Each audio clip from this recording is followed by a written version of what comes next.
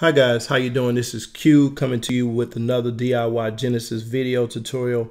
And I really wanted to jump in today just to give you a short video on how to control this title information right here where you see where it says featured and it says travel and lifestyle and fashion and just those titles and how you go about making those updates and changes. So we're going to jump right into a client site of mine that I actually just finished. And I wanted to show you that those titles have been changed. So as you can see here, this now says personal finance. This says stock investing. This section over here says online marketing.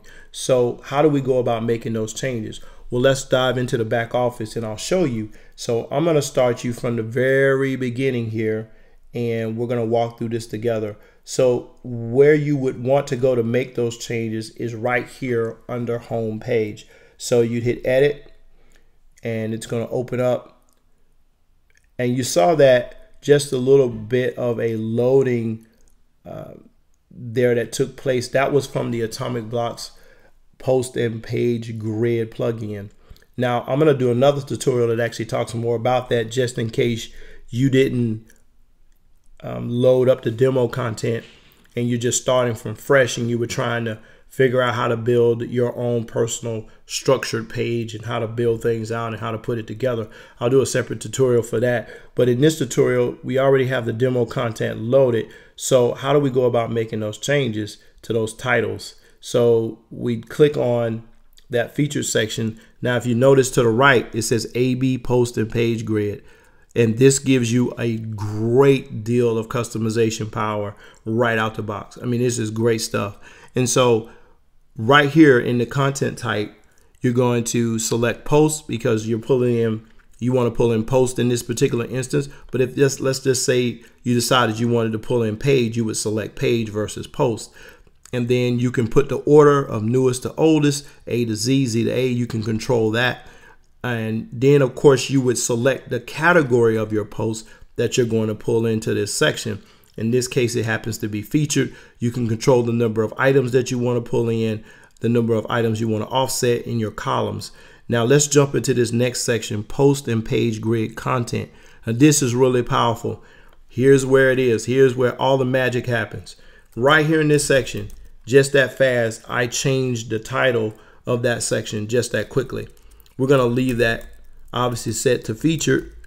And then you can see that you can actually control whether that title shows or not. Turn it on and off. You can go in and display featured image. You not display the featured image. You can choose the image size. You can display the title, which the title is the title of your post, or you can turn that title off. You can display the author information if you want. You can display the author and the date information or not show that information. This excerpt section here, you can display that or you can turn it off and turn it back on. And you can set the length of your excerpt and you can set the text right here where it says continue reading or you can say read more. It's, it's all up to you how you want to set it. And then if you want to, you can turn that off as well. So as you can see, I just showed you, you have a lot of great power here available to you to make some really amazing changes. And I just wanted to really show you just how quick you can make those changes, how easy it is to go in and do that. And then you could easily set this up to look exactly how you want to. Now here's the second section, the personal finance section. And in here we did more customizations where we set the number of items to two and we set it to two columns. You can control all of that just by using that AB post and page grid plugin and you can select that. You can put that into your home page and you can create whatever types of layouts you're really looking at wanting to create. So i hope this tutorial was tutorial was helpful for you.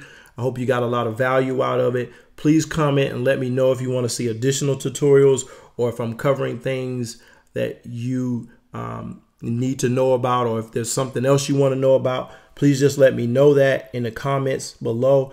And you can also follow along because I left a link there for the Magazine Pro and the Genesis framework in the description.